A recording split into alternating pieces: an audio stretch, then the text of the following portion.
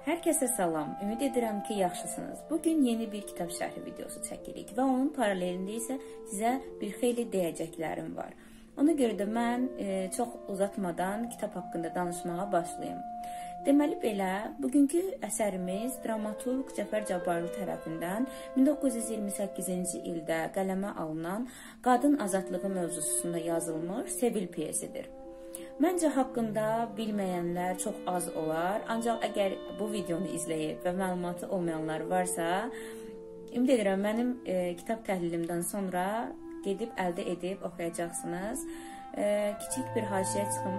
Məlumatım olduğu qədərlə Cəfər Cabbarlının və əlbəttə ki, digər e, yazıçılarımızın əsərlərini e, milli kitabxanalardan, e, şəhər rayon kitabxanalarından əldə edib oxuya bilərsiniz. Ancaq mən e, elektron variantını internetdən tapıb e, oxumuşdum. Siz də istəsəniz əldə edib oxuya bilərsiniz. İndi isə kitaba başlayaq. Adından da məlum olduğu kimi baş obrazın adı, baş qəhrəmanımızın adı Sevildir. Sevil bir Azərbaycan xanımıdır.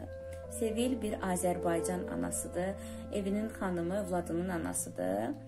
Və ən başda isə o bir qadındır. Və Sevil E, Sevilin həyat yoldaşı Balaş isə daim ailəsini özünə yaraşdıra, yaraşdırmayan birisi, daim həyat yoldaşına sevgidə və hörmətdə qüsur edən birisi olur və Sevil e, daim nə başına gəlirsə, belə deyək, sevgisindən gəlir. Ancaq e, həmin o başına ə, e, xoşa gəlməz hadisələr gətirən o sevgisi həmçinin onu dünyanın ən xoşbəxt qadını edir. Çünki o öz e, həyatını qurur, o öz həyatının e, iplərini öz əlinə alır. Çünki o, o bir azad Azərbaycan qadınıdır. Və əlbəttə ki, Balaş ə, e, zənn edir ki, hər zaman hökmran o olacaq, hər zaman onun maddiyyatına görə ona hörmət ediləcək və ə, bir ə, kişi olaraq ə, xanıma etdiyi o hörmətsizlik ə, buna qarşı edilməyəcək, sanki onu sığortalayan bir şey varmış kimi. Əlbəttə ki, bu belə olmur. Nələr baş verir? Sevil öz ə, e, xoşbəxt həyatını necə qurur? Ə, e, kitabı oxuyun. Çox kiçik bir əsərdir. Oxuyun. E, məncə çox sevəcəksiniz. Həm xanımlar, həm bəylər.